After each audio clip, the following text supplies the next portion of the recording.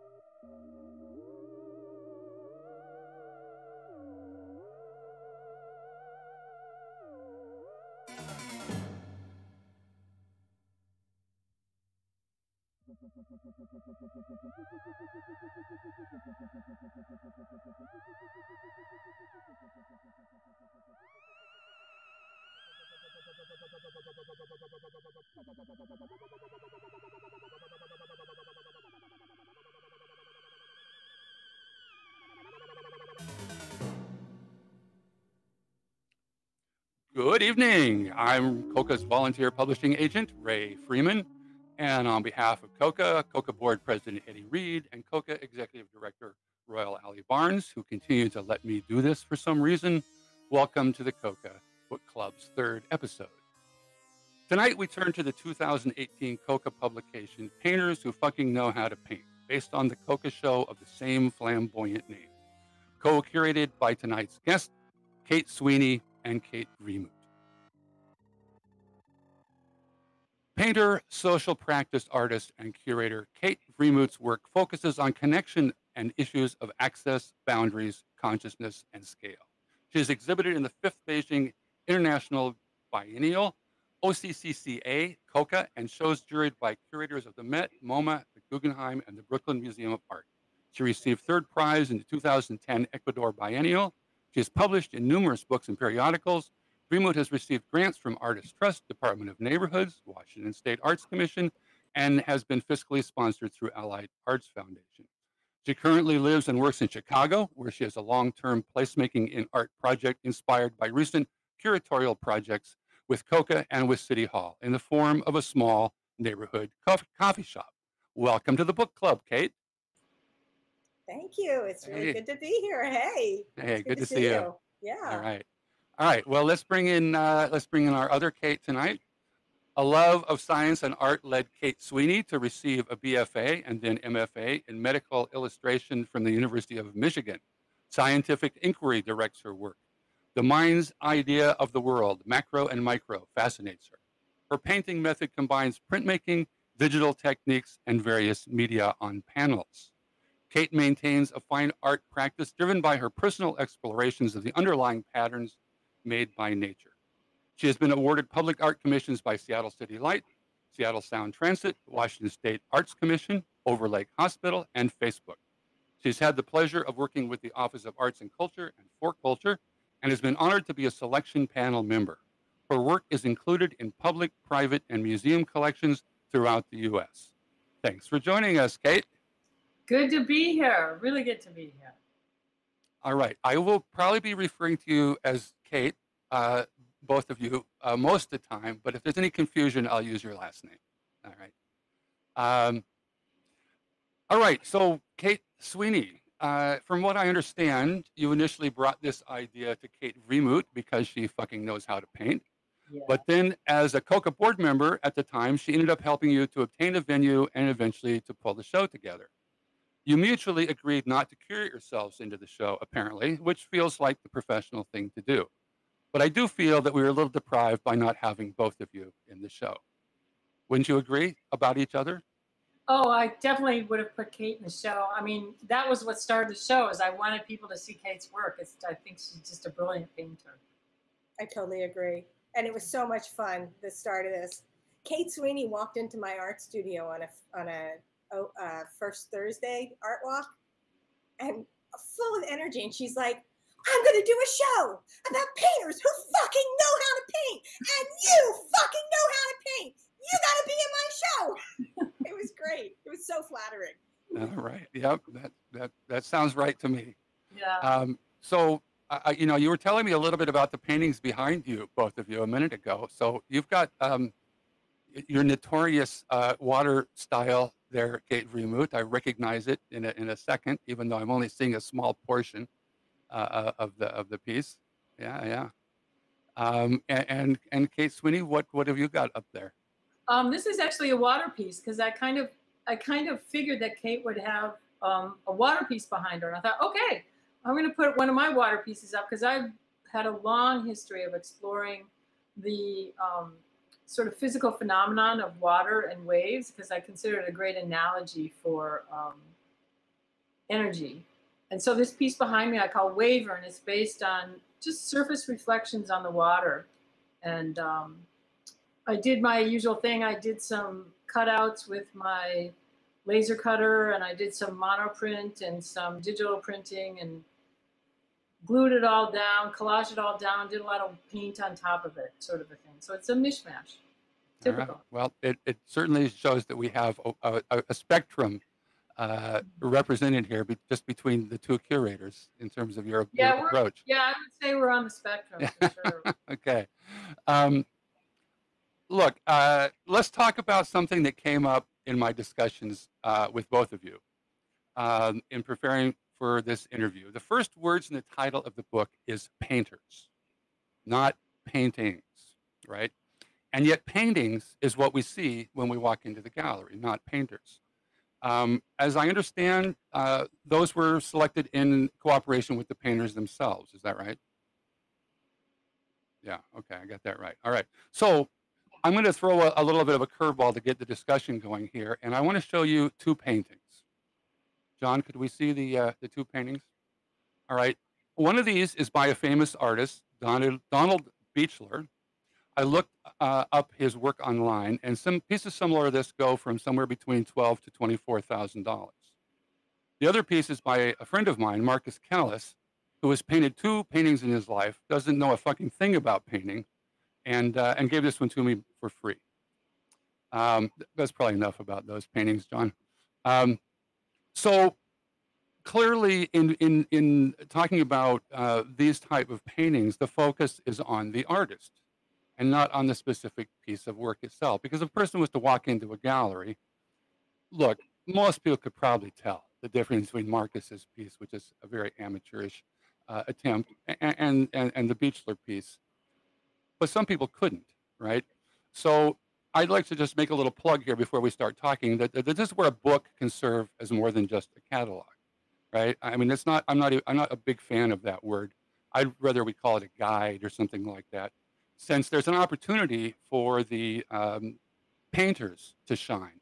And I recall when I was putting the book together, one of the things I wanted to do was to at least have a picture of each painter because that's who we're talking about here, not not not not as as much as the painting itself. And we gave the painters an opportunity to, to put a statement and a bio, and we pulled out a quote, and we, we did a bit to try to show in the book that this is about the painter as much as it about the paintings. Um, however, I, I do feel that perhaps I was a little easy on the two of you when we were putting the book together, in, in that I didn't make you defend your choices for, you know, in the catalog. It's like, why, why this person? I mean, what is it about their work? What is it about them that that qualifies them to be in a show? And I know that, you know, I, I've been told that there were a lot more uh, people that were considered, but you narrowed it down, and so, you know, I'd like to uh, spend the time here talking about what you think makes for a, a, a painter who fucking knows how to paint. What is it? What is what were you looking for? What is the quality? And we can we've got examples of the work here if you want to point them out, um, or we could look at a slideshow of the whole show before we start. What do you think? What would what would you prefer? Should we look at the slideshow? Should we should we start talking about individual pieces, or do you want to just talk about the subject? What makes a fucking good painter? Um, I would like to just say that um, it was an extremely difficult winnowing process.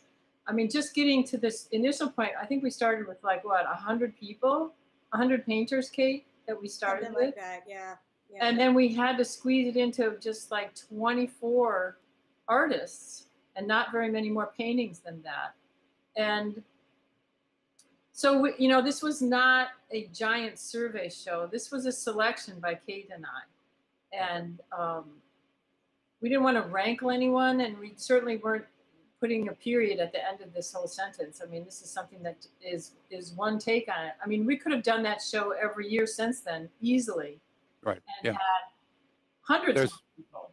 Would have been Well, as it is, again, as it is, kind of to make my point in a way, um, you know, most, a lot of the painters only had one painting in the show. I mean, some had two, I think one had three, but there was obviously space limitations.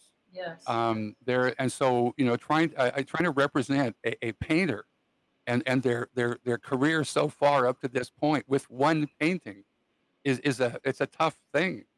Um, and it, you know, it's, and it's why, you know, again, looking back as a sort of editor of the book, I wish I would have uh, encouraged us all to talk about that more. I know you both did in the essays that wrote, you wrote in, in the in the beginning of the book. Um, but you know, is this a is this a phenomena of contemporary art that we're talking about here, or is this something that has affected painting forever? I mean, we, we're talking about paintings that, if you were to go back in history, and let's just go with classics. I mean, if someone other than Leonardo had painted the Mona Lisa, would it still be a great painting, or do we have to know who did it in order to make that Yeah, it's a assessment? really. Um, I don't think that Kate and I were thinking that way when we picked these artists. We were really picking them because they just, I mean, you walk into a space and you see this work, a piece of work, and it just grabs you. And um, I think through our long histories of paintings, we just had our intuitive sense of what a great painting is. And that was really the very simple start of this we weren't looking for names we weren't looking for pedigrees we were we just knew the artists Mhm. between us and kate introduced me to some great artists that i didn't know and i'm sure that i brought artists to it that kate didn't know and it was a fabulous experience in that way for us to have discussions behind the scenes when we were selecting and say you know and we looked at several pieces from each artist. So we had a range. So we were selecting artists but it was based on their their broader body of work. And you can see that across many paintings you know what they're exploring and how they're doing it and even how they're growing.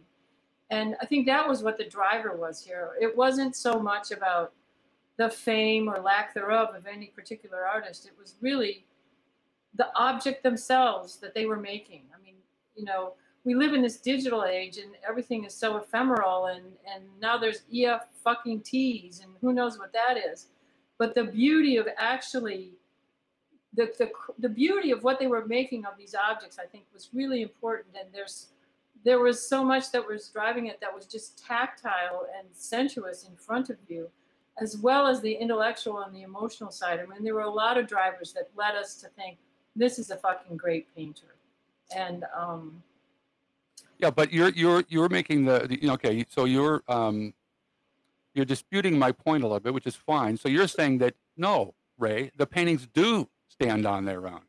They're that good, right? Well, we let the painters, we contacted the painters and said, we'd love you to be in this show. Send us some work that's available or that you would like to show. And they would send us, you know, I think a number of pieces. Did we have a limit? I can't remember. Was it like six or I, it seems like we had three to five pieces, but I can't remember off the top of my head. Yeah, so they sent us what they liked, what they decided to select for us, and then we selected from that. So it was about the painter, but the painter that we had in our head, knowing their body of work that that drove Sure. us to select Sure, them. sure.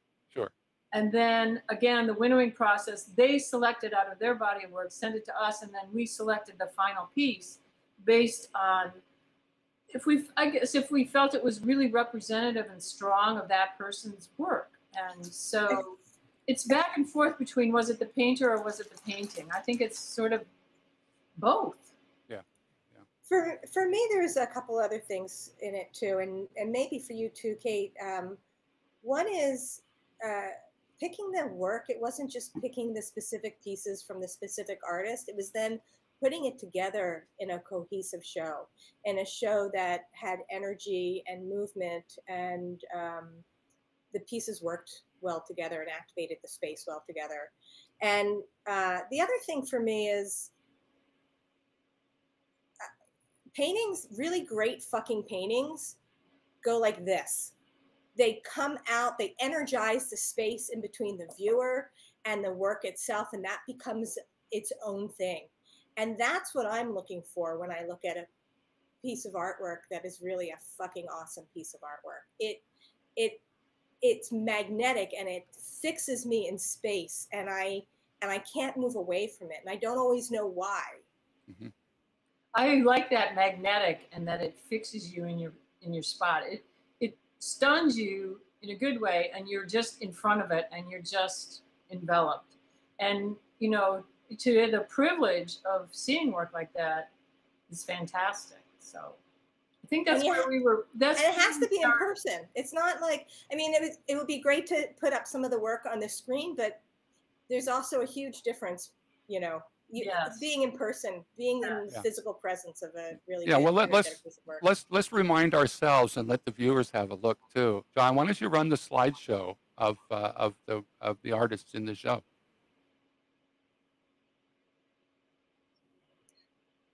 Suzanne. Yeah.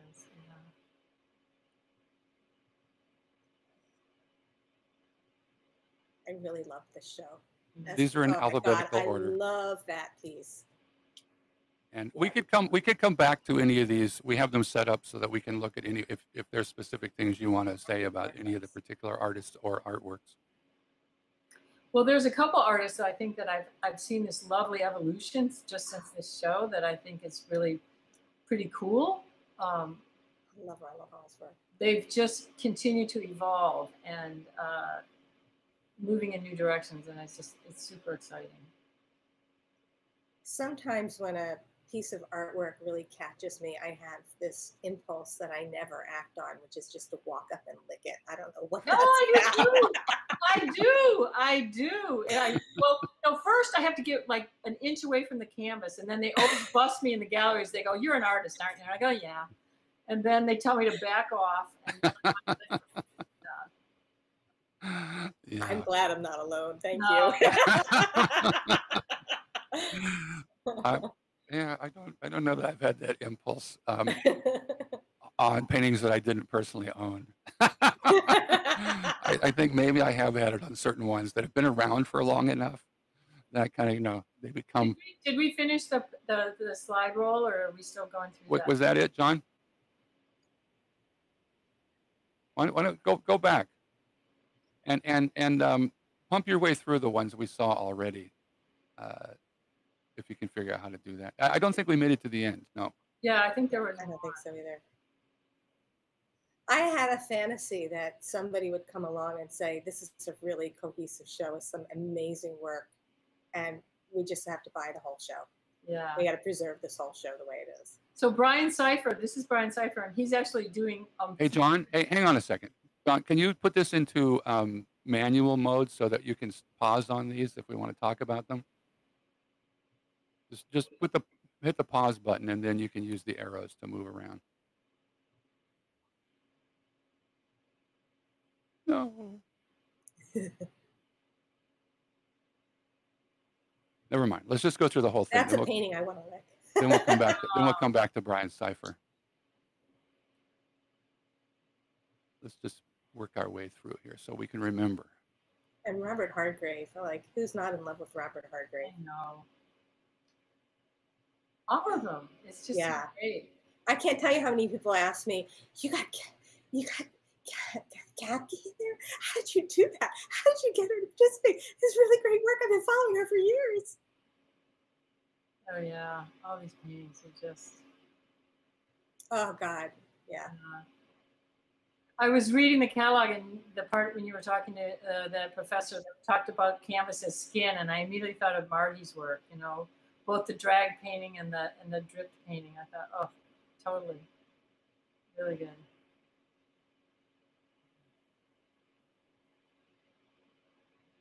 Oh, this. I, Oh my God, this work, Adrian. Smith's work. Jesus, yeah.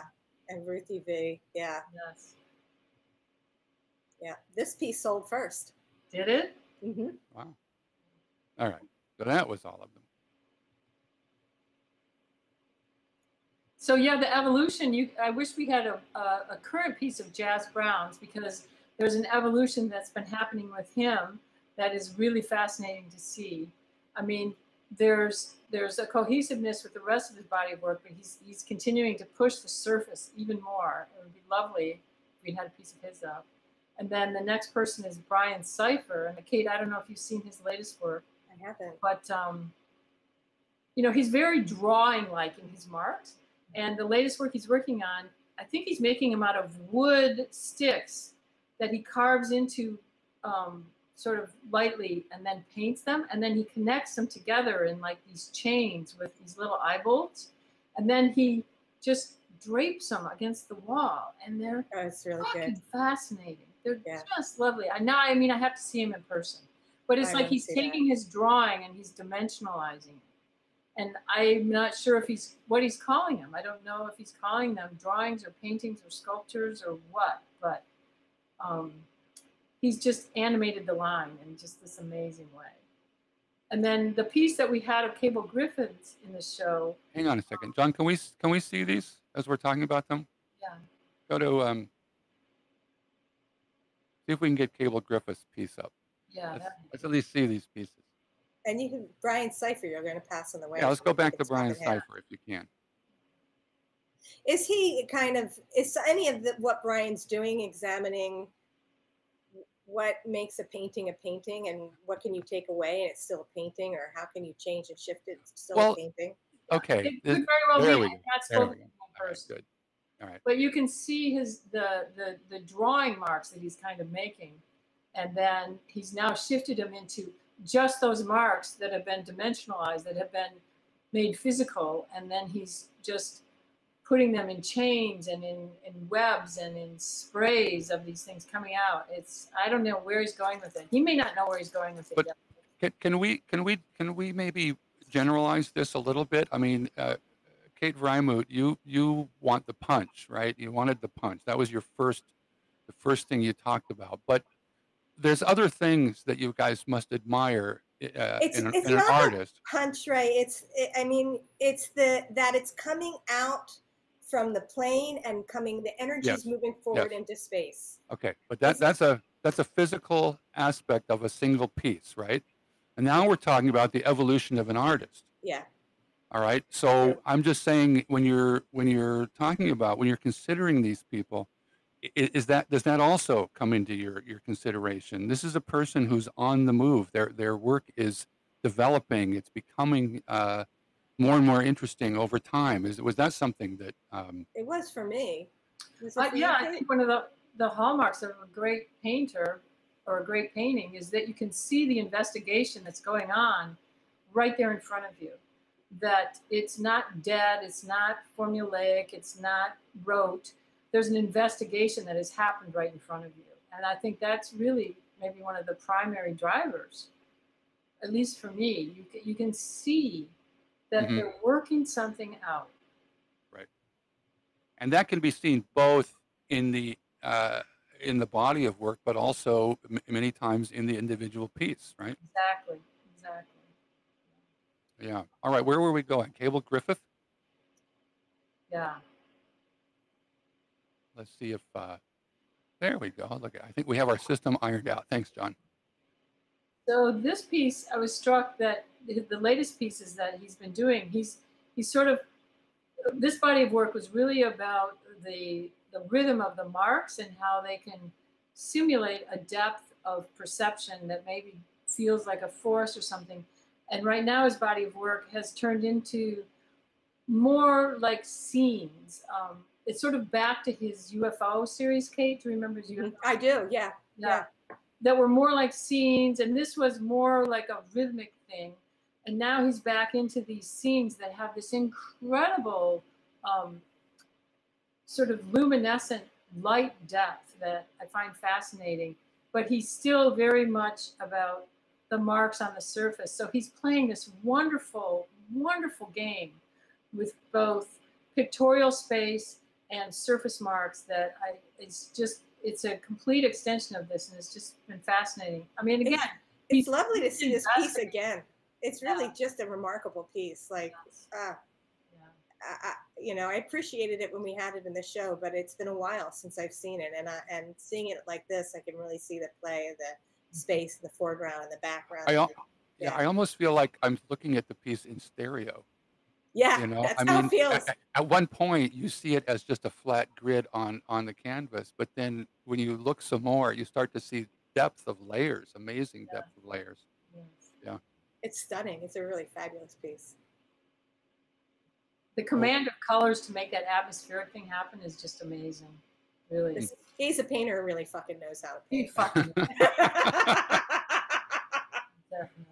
All right. Okay. Um, now, who else exemplifies that? Uh, what what we're talking about right now, which is uh, that kind of pr- process, investigation, change. Um, is there anybody else we could look at? Oh. I don't know how far I got. You know, it's like some people I've seen their work, and I, I mean, I was just going through the catalog and I noted those people. I was like, oh man, I've seen their work lately, and it's so cool to see what they've done. Kate, have you followed anybody past this? I I haven't really followed anybody recently Yeah. past this. Occasionally, somebody. I'm not on Facebook much anymore, and occasionally, if I go in, I'll somebody will come across my feed. But um, I would say Margie's work. Don't you think Yeah. Margie's work does that? Um, I haven't seen her work lately beyond our show, so um, I need to. I need. There's a lot of catching up. Let's bring Yeah, that up. I'm sure there's, I hear there's a lot to say There about that. Yeah. Um, there we go. So tell us about this stuff. I, I just love the uh, dis disassembling painting into the paint itself as the painting and nothing else. Like there's no substructure. Well, there is because it's hanging on the wall, but it's- Yeah, but the wall was there, right? well, it has to be something has to be holding it up, Right. right? So, Not magic. um, right. paint. it's funny though. I mean, there's just there's a little bit of a pun there too. But For there's sure. paint, there's paint on the wall. Yeah. and it's drapery and it refers to classical painting and the drapery and the fact that it it's white and the and the and the and the the funereal wrap of you know oh yeah is there a body in there you know i mean it feels like it's just come off a body or there could be one in there How how large is that piece? it wasn't that big it was like maybe 24 inches long something Wow. around there what does it Yeah, say in it's the very book intimate. the- very intimate yeah what's it what are the dimensions right Uh, I'm looking for it right now. It's uh, yeah, 23 by 8 by eight and a half. Yeah. So it's pretty big. That's I mean that's a wow. I'm trying to imagine the process. yeah, she's all about process, but then she ends up making these very emotionally intimate pieces out of them. And I think mm-hmm. that was part of what I was I was getting at with how important the object itself is. I mean, and it was a little bit Ray of what we were talking about the other day before we got started with this is that you know you were talking about how art used to be driven by the big guy who wanted his life you know celebrated on the wall forever his deeds and his riches Yeah. then you know now in the world of easel painting now every painting to me feels like like a love poem it's so intimate and so what this you know what painters are doing now is it's it's a reflection of our times but it's a reflection that comes out as these really intimate love poems that are telling the world how we are existing in the world today and i think margie's pieces are very much that way that um, she's she's she's sending us a love poem about her relationship to skin and the surfaces and the intimacy of that and the processes that she uses to make that are very time dependent and that is about life and um, taken as a whole, I mean, the show is basically a series of love poems. You know, they're not they're not tweets, they're not quick. These are these will last. So it's a different, it's an aggregate sort of a thing of many many voices that is happening now, and it's not just the one guy who's paid for his whole family to be painted on. the Right, wall. right. I think Yeah, that's well- fascinating. I don't see any uh, schism between the process and the emotion at all. I mean, I think they go hand in hand. I mean, you put that much work and sweat into something, Yeah. that emotion is going to come out on the other end, right? Yes. So i think that was a great point kate I that was remember really going to see the said. show of of Agnes Martin. I think it was at um, the Guggenheim. They had a great retrospective. And I mean, I liked Agnes Martin. You know, she was presented to us in art school and everything. I was like, yeah, that's really great. Then when I went to see the show, I realized that she was doing time based art when she painted those things. She was every bit as much of an action painter as Jackson Pollock, but she was doing it in a very meditative way because every line she put on there, she put on there by hand. And if you sat there and thought about how she actually physically accomplished that, you realized it was the record of a meditative time. And I just fell in love with her work at that point. It was like, oh, this is this is how a woman approaches action painting. You know, this is this this is like, oh, it was just a wonderful moment, a wonderful moment. Yeah. And I think that's what Margie does for me too. I mean, it's this, it's how does a woman approach, you know, the wounding of the skin surface or the, the presentation of like, here's my skin, you know, this is me in the world. And I just think it's a, it's a wonderful time-based piece, both of them. Yeah, I more and more um, I'm wanting to have these discussions with curators before I publish a book. you know, so we can get this out there. You know, Kate uh, Vrijmoet, you remember we did that pretty pretty uh, successfully with the art and math book, which we're going to be talking about on one of these shows, where before the show went up and before the catalog was created, we had several meetings and discussions with the curators about the whys and wherefores and, and what the book was going to add to the whole process and how. So, I mean, I think that was a very useful uh, exercise. Oh, And uh, you know, a show like this just reminds me that that's something that we can add. We can we can do more of this in print, uh, where we we talk about these issues, not just show a bunch of art. You know, I mean, there's one side of it uh, is showing it, uh, but the gallery does that quite well, much better than a book does. You want to go and see the art, go to the gallery, look at it. There it is. You know, you want to read about it? Well, you know, now get the the catalog, the the guide. Um, so it just reminds me that that's part of my mission is to make sure that that continues to happen. That you know, because COCA is about not just showing the art, but educating the public and and um, bringing this stuff to people, helping with the understanding, as Royal would say, uh, arts literacy, uh, making sure that people, you know, walk into to a gallery a, a little more informed because we help them with that to be a little more informed. Um, Kate Sweeney, did you have a thought there that Well, I was just going to say, um, I, there's sort of this this joking meme in our family that um, my partner, when he he's a plaque man, I mean, he's a journal, a former journalist, so he reads every plaque in every museum.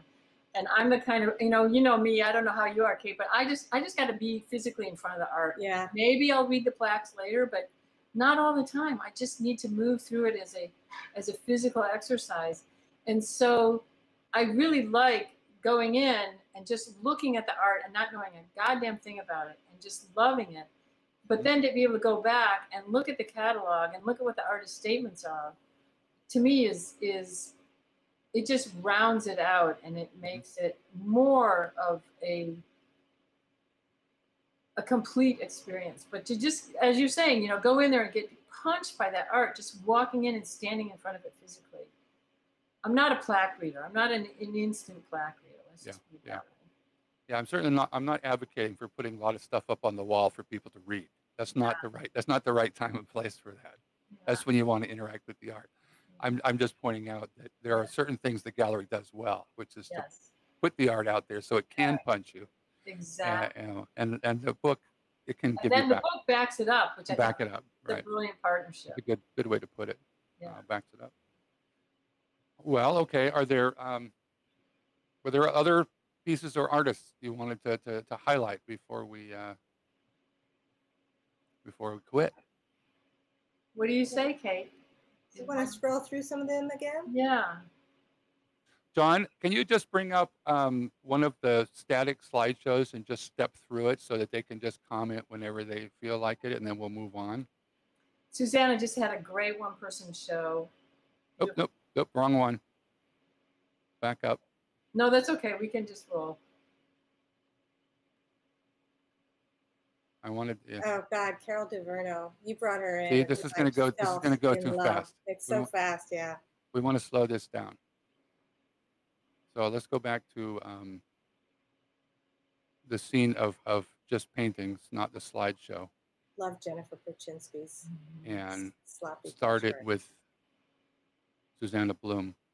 Yeah. Susanna got me, hooked me with a painting that was at the Gail Gibson Gallery, and it had, um, it was a nature scene, and then it had the words uh, something like "Hi, sweetie" on it. Yes, I remember that one. God, I wanted, I coveted that painting. I wanted it so bad. Yes. She has a painting in her new show that I'm like, oh my God. It's a good thing it's too big for me to buy.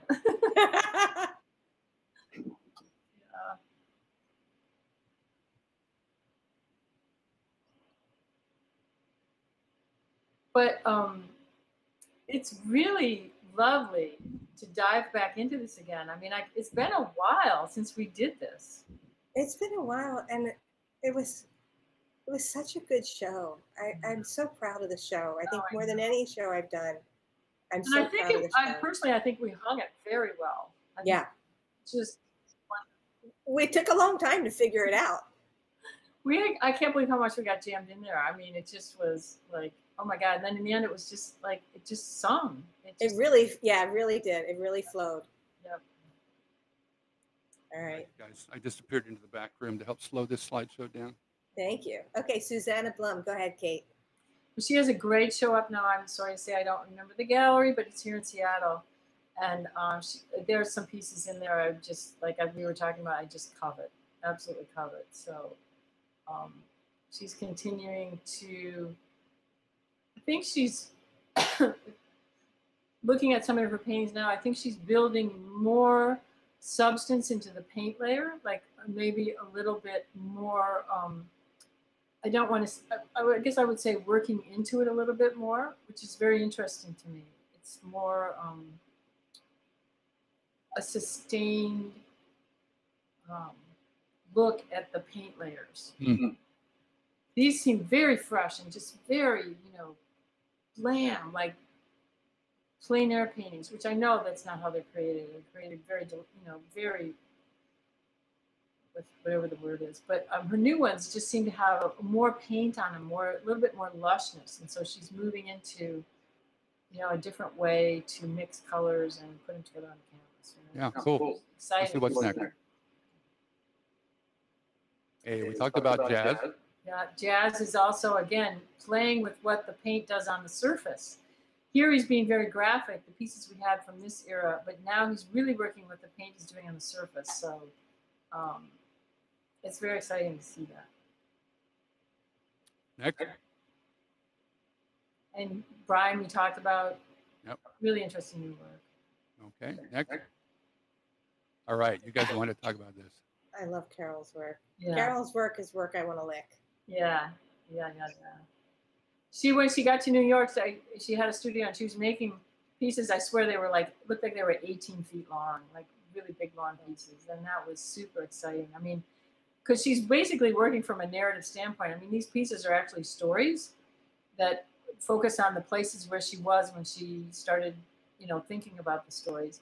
And now these long pieces are like these tremendously long narratives, and I, I think it's it's just a it's a wonderful you know she's just spread it out and held it together on these really big long pieces that are just beautiful Yeah, the other piece that was in the show was simpler than mm-hmm. this. This one has got more geometry, more color, more going on. Sorry that you're saying this, the stories are becoming more complex. the ones that she's working on the big Yeah, ones yeah. Uh, you know i am not sure i hesitate to say anything about them because i don't want to get it wrong but Right, um, but the work is more complex. um well yeah in 18 feet you tend to do a fuck of a lot more so kind of unless you're robert ryman i don't know maybe you don't but Yeah. Okay, John, let's see what else we got here. Yeah, Marie, she's a Seattle artist. She did some incredible paintings of the um, viaduct before it came down. That yes felt, um, God, uh, uh, Kline, like Franz Kleinian to me. You know, Yes. just that kind of mark making. yes yes, You know, she's a painter. Fucking knows how to paint. yes. Okay. And how about She's in Kathy love with her surfaces yeah. Yeah, yeah. They're slippery, Mhm. Slippery? slippery. Okay. All right, and then we have Kathy Gore Fuss. Kathy, what skill she has. This was a really interesting piece. Was this done on some sort of vellum with just I think it's on. sepia or something? What's that stuff called? Not Weeple. Uh, Yupo. Yupo. I think these Yupo. two were on Yupo. Yeah, it, walnut ink on Yupo, as I recall. She just did a really interesting piece that was an actual installation of living plants as sort of a memorial, a COVID memorial. So she did this giant, like totemic pillar that was covered in like flowers. I mean, they were cut flowers, so there was a degradation and a you know, a, a, a, a sort of falling away over time, which was, you know, the point, the beauty of it. And um, so she's moved into responding to, you know, vegetative growth in a completely different way. And I, and so she's also interesting in the fact that she's she's moved in, at least in this particular piece, into a more sculptural medium. But again, it's her reverence for the natural world, the you know trees and flowers and plants. So. Yeah. It, it's, it's, it's great um, that you've got, you've got this updated information, you know. Well, not on everybody. I'm gonna feel gonna feel bad when someone comes up and I don't know anything. Yeah, well, that's yeah, all right. I mean, that'll come up. That'll one of the things one of the things we're doing with the show and with the book and now with this uh, YouTube is we're exposing people to these artists. Yes. So uh, maybe they'll keep their eyes open next time they're in a gallery. Um, and we have Cable Griffith, who we've talked about, For cable. yeah, and Patricia Hagen. She's somebody that I like to watch develop. She's, Yes. Yes. Doesn't she have a show coming up or just Yeah, I think finished I at was Linda think so. Hodges? just finishing. Yes. Yes. Yes. It was beautiful, and it had a lot of trees and um, big, big, you know, sort of monumental tree body figures that were. Her work feels like it has a good sense of humor to it to me Yeah. too. Is it is that she has she maintained that in the new work? She does, but you know, her palette is is really quite um, in the somber frame. So it's like I, I look at the bounce and the verve in her shapes and her paint application, and it's sort of this push against this very somber palette. So um, I sort of like that push, and um, it's interesting, you know. I mean, it's like she's like David Hockney, only in mourning in something in some way, you know. It's it's it's really interesting to me where she's going. I, I feel like there's a little reminiscence of uh, Gu- Philip uh, Guston. Yes. Yeah. The chunkiness, the Yeah. Chunkiness, and the you know just the the sure-handed of like this is the shape I'm putting down. You know, Yeah. it's it's really good. Yeah, Yeah. well, the first the first line in her own uh, uh, narrative is, "I am a painter. I paint to play." So yeah, the, the playfulness is there too. Ronald Hall is next. Okay. The only thing that pissed me off was that both paintings were sold as soon as they went up on the wall. Wow. He's So he did the, the only thing he could give us were these two smaller paintings. Everything yeah. Everything else he was out. So Yeah. we just pounced on. It was like, yes, we'll take him. So um, I haven't seen him a lot. I haven't seen his work lately. He moved. He was in New York when he um, was in the show, and uh, I know he's continuing to work very much. But I haven't seen any of his paintings. Very Yeah. Yeah. these, These don't, don't seem seem like, like Ronald's Ronald's typical typical paintings paintings. to me. No, they were very separate. They were just bolt-on portraits, not like his more narrative, larger paintings Mhm. that are telling more of a deeper story. So, um, but they were still gorgeous works. Yeah, they're gorgeous. Gorgeous. All right, and we have Laura, whose last name I'm not sure how to pronounce. Hamje? Is it Laura Hamje. Hamje? Laura was a new painter to me. Kate introduced her to me. Yes. She is evolving.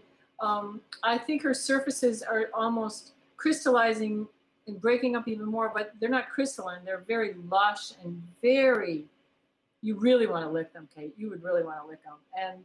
And been doing. I mean, she was doing when I first came upon her. She was doing a lot of like viaduct roadway things, but now she's doing um, a lot of out in the natural world, trees and light coming through the trees, and um, uh, you know, and I kind of think that that may be a reaction to the year of COVID when you're not driving around as much. You know, you're just trying to be isolated in nature. So um, I'd love to talk to her and see how that evolved, those that particular shift in subject matter.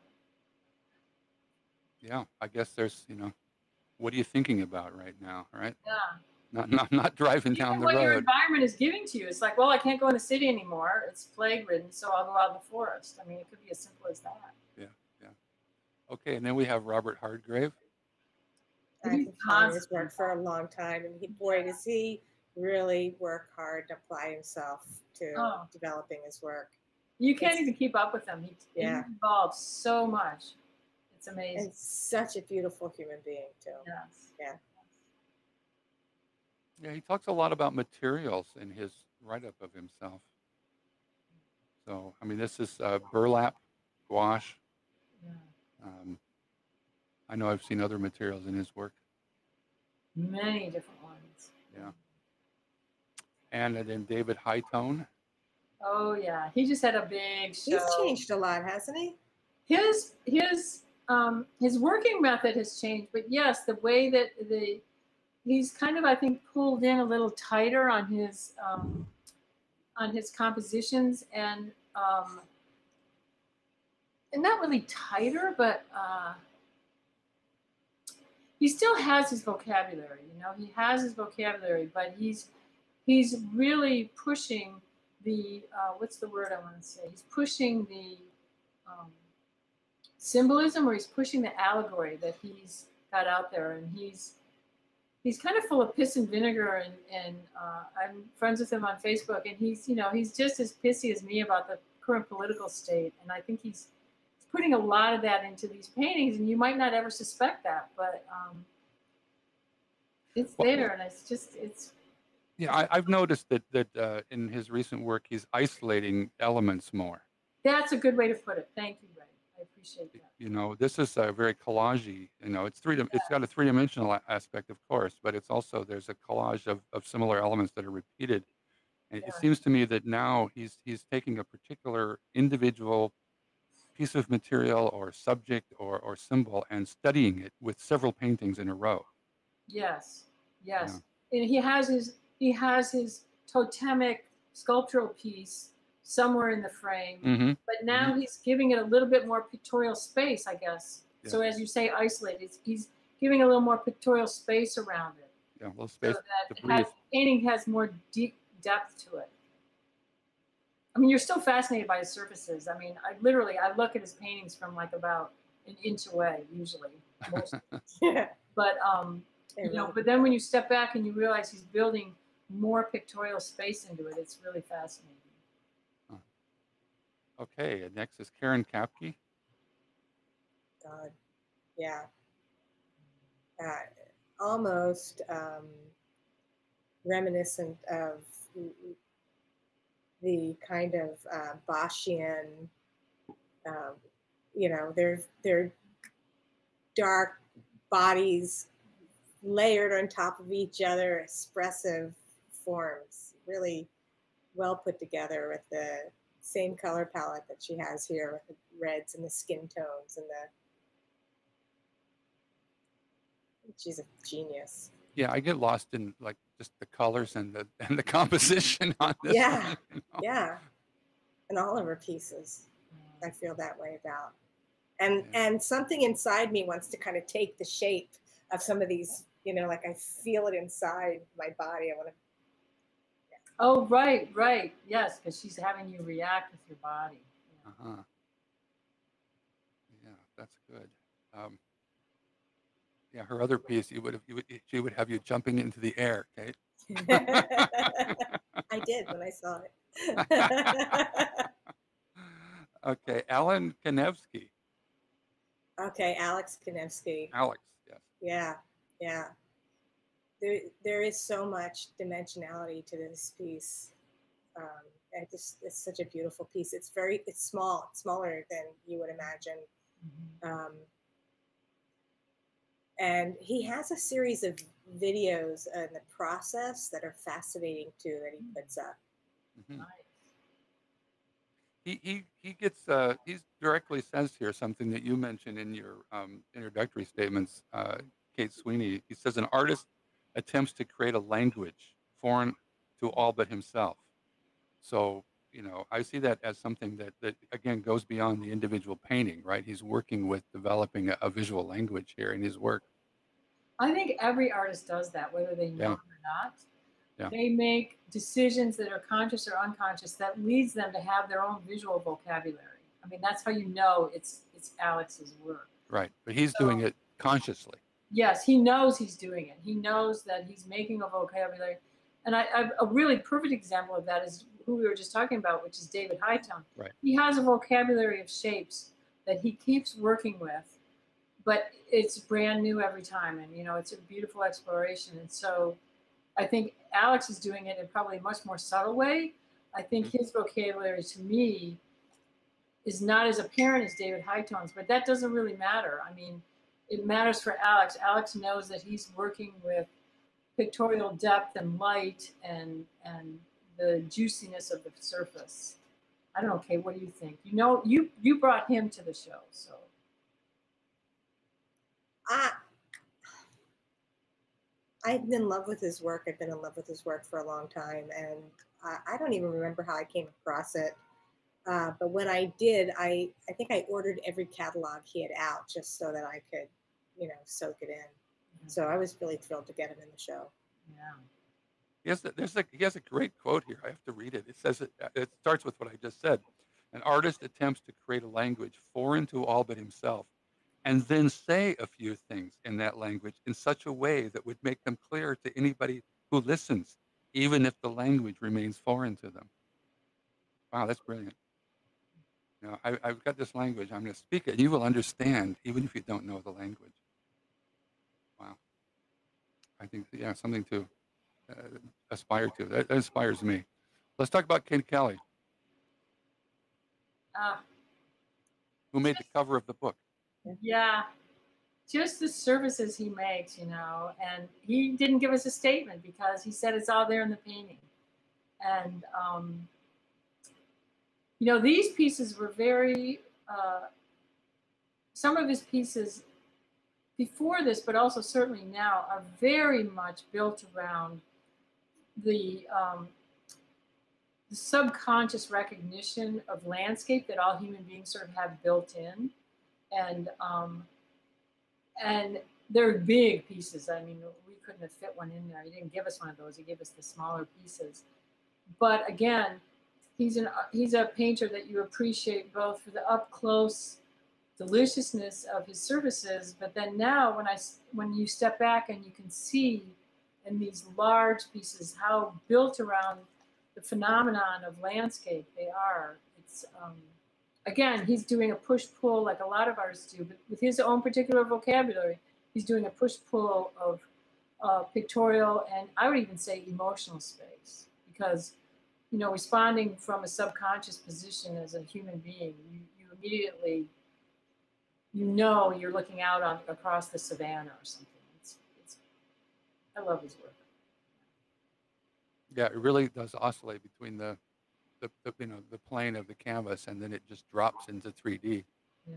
when you look across the canvas. yeah. Um, Kathy Lau, So Kate, She- you brought her. Yeah, yeah. She came and she spoke too at the panel that you had. Um, uh, she's teaching now somewhere in the Southwest. Is that correct? No, she's in Kansas. She- Oh, she's in Kansas now. Yeah. Missouri Um, Western State University. what does she have in her statement? Yeah, it says uh, in, in, in terms of her bio or a statement. Her statement. Well, I'll read you her quote. It, it says, With each painting, I am constantly reestablishing my relationship with the subject matter, in this case, herself, being con- conscious, conscientious of my distance to them, physically and emotionally. I project my thought and my experiences onto the canvas, and the image pushes back. Yeah. And you can Well- feel the push and pull when you look at her work. Mm. And she's another one that never stops uh, working and pushing her art form forward and forward and forward and forward and forward. Yeah, every I, I've known about her for quite a while, and every piece that I've seen was the best I'd seen so far. I think I saw somewhere, maybe on Facebook, she was doing really big wall pieces, like really big human forms. And I want to say, were they like not square edge? They were like cutouts that she then like kind of layered together. So again, she's working sort of beyond the traditional easel panel. And Yeah. um, Well, this is this piece here is is five feet tall, yeah, it was big. and it's uh, in two in two pieces, Yeah. two canvases. Yeah. And then Margie Livingston, we've already we've Mm-hmm. covered in some depth. Um, Natalie Niblack has been around Coca shows for a while. Yeah. Oh, I love her work. Speaking of large work, She just had another show. Um, I think it was in Bellingham, the Geheim Gallery, if I'm saying that correctly. And she had a lot of sculptural pieces in as well, political, like the little Toby mugs. Only they were like you know Mitch McConnell being being his usual turtle-like evil self. but she also had a lot of uh, paintings as well. So I like that she works back and forth three-dimensionally and back into painting. Hmm. She's healthy. She's healthy that way. yeah, I, I you know initially when I saw her work the first few times, it, it had sort of political overtones as far as I was concerned. All of it does. But but she doesn't talk about that in her statement at all. She just says she loves exploding things. she finds them beautiful. she has a very dry sense of humor. If you've Yeah. ever talked to her in person, she's delightful. is beautiful though. Look at it. It's Yeah. it is an exploding thing and it is beautiful. Yeah. Kind of like a, ch- t- a chainsaw thing, right? Right. Indeed. Okay, and then we have Alan Packer. Yeah, this was he was a new artist to me. Kate, brought him in. Yeah, I I I can't even remember where I found him to tell you the truth. Where did I find him? I don't know. I might have seen him at the art fair or something. I can't remember. Huh. Let's see, where's he from? Um, We had to borrow this from someone's collection, I think. Yeah, He, he didn't did. have anything available. Yeah. And he does a lot of sculptural work as well, too, which is really fascinating. Yeah, he wanted to get that into his picture. You know, when I remember going to his website and seeing there was mostly constructed work. Yeah, yeah. Um, Jennifer Pochinsky. So I just love the brushy painterliness of her figurative work and um, how relaxed and expressive it was, how it really captured the form and the gravity and the mass in a very quick, simple way.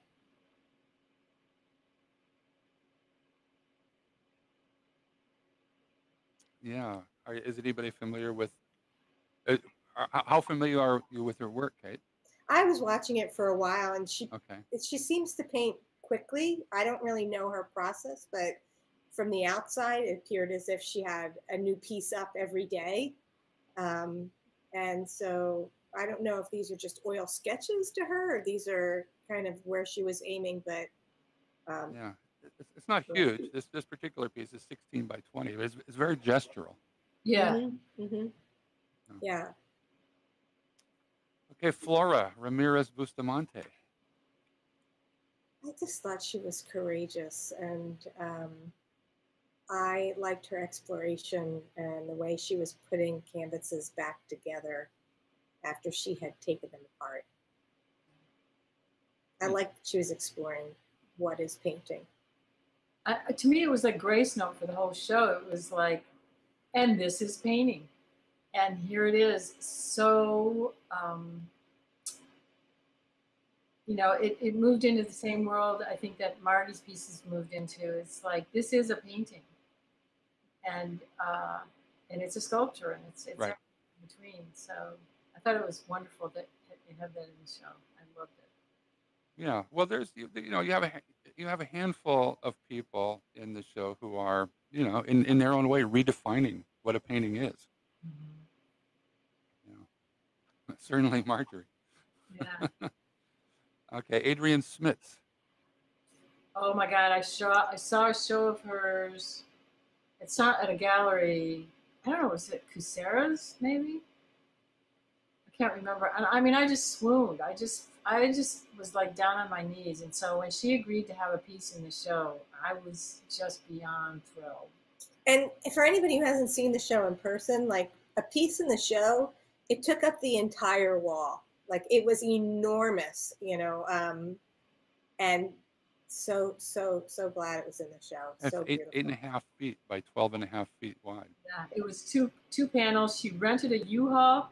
I think she drove it up here from like California or something. I mean, this she's phenomenal, and she's a graduate. She at the time she was a graduate student in some scientific, um, you know, career, studying flora and fauna. I mean, and and then she does this, and it just it just blows me away. Yeah. But it was so lovely to have a large piece like that. I think, Kate, because it's again, you know, I think any painting is actually Uh, at, on some level a sculpture because it relates to how big your body is.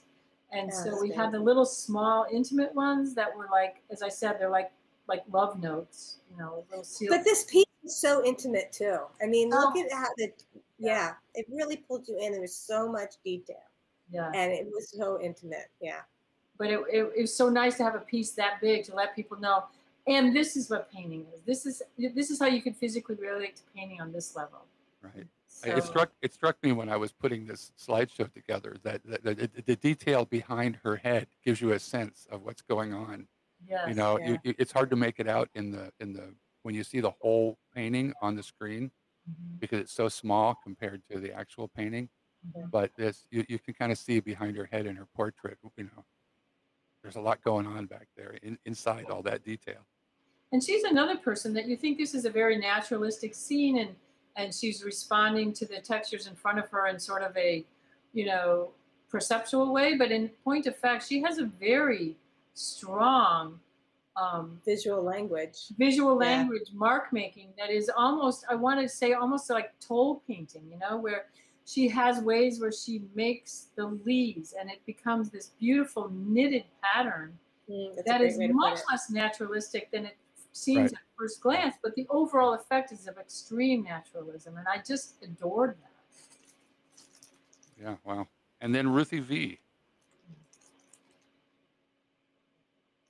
Venus. Venus. hmm So She has a school. yeah What does she wh- say in her statement?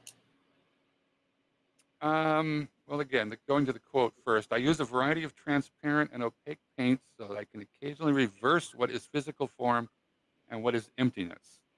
For me, emptiness can feel very full.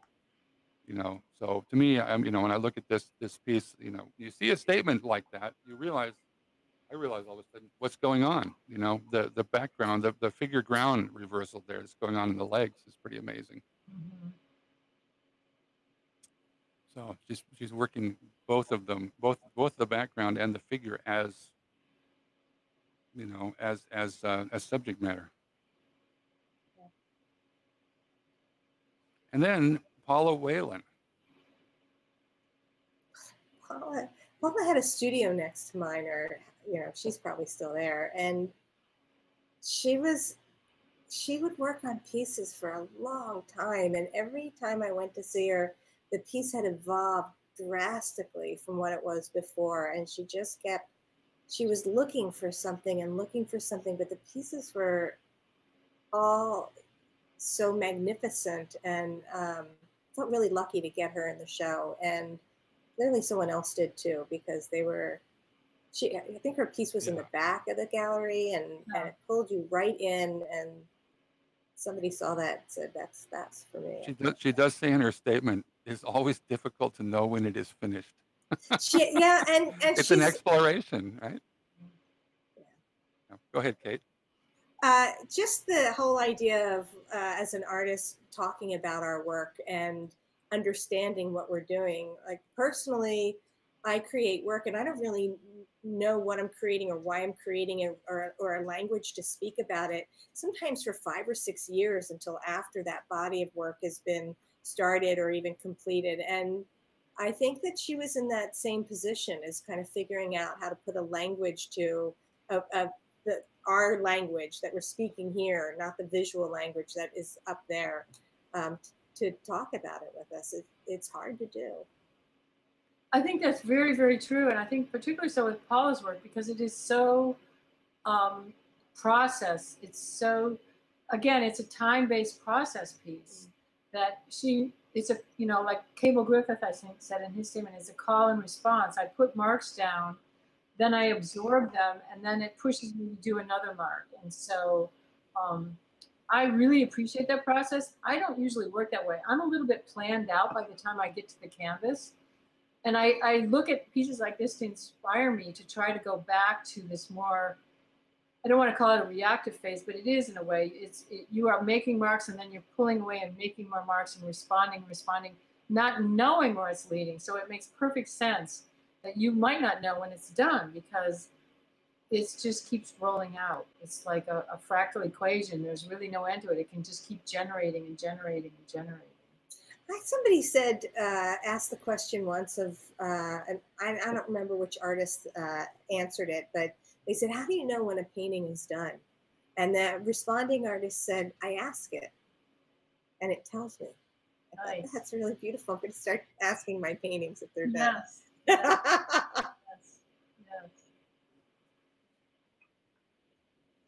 I've had the experience, I don't know about you, Kate, but I've had the experience where I'm working on a painting and um, I hate it. I, I mean, I just hate it. I hate it. So then I say, okay, this thing is this thing is gone. It's it's toast. So I'm just gonna I'm just gonna work on it. I'm gonna fuck it up deliberately. I'm just going to destroy it. And usually when I do that, by the end I have a major breakthrough and I've discovered something like brand new and I end up loving the piece because it's like I just said, okay, I don't care what happens. I'm just going to see what happens. And so I, the, at that point, the painting is telling me something, know, and it's telling me to push way beyond where I'm happy and come out the other side into something that is completely unexpected. And then it does tell me when it's done, finally. I um, I appreciate that. I haven't personally had that experience.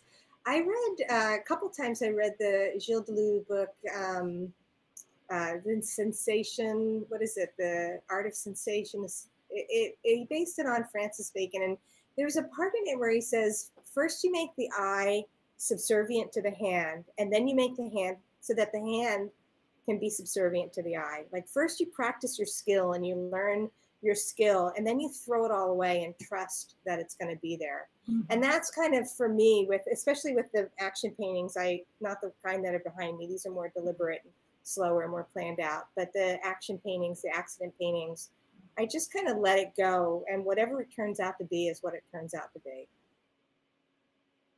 yeah. i kind of do i think i get to the more um, the more when I started doing my large paper wall collages that I just built out of pieces and I let them grow naturally, that for me was sort of the state of what Paula achieves with her things. I don't know. I always say I'm going to make a little one, you know, and it, they all end up to be like eight feet across. Enormous. I can't stop. But they tell me when they're done. But for so for me, for me to get back into this really free form creative flow without anything planned out, the best way I can do it is with these large paper wall collages. So that's been my my therapeutic art. I love that you said they tell me when they're done and and just the idea of like the the painting tells tells us what it needs to be. Yes. Yes. yes. If you try to force something down the painting's throat, I mean it's not good. That's when I end up knowing that I've fucked it up and then I just say, okay, I'm gonna destroy it. And then Yeah. Well I don't I don't do a lot of artwork, but when I do, I always have a plan, and it always doesn't turn out the way I yeah. planned it at all. No. Yeah. yep. I mean, I'm a planner, uh, but yeah, the art the art always goes in its own direction. Very very rarely does it come out the way I thought it was going to. That's kind of why I like working with monoprints because you think you have it all planned on the slate, you know, and then you put the paper down and you roll through the press and you go, "Oh my God, what was that?" it's really fun, yeah, because you can't you can't control it. All right. Well, that would be, um, you know, someday I'll talk to you guys about your own artwork, but we're here mostly to talk about the, the show, and we're running out of time.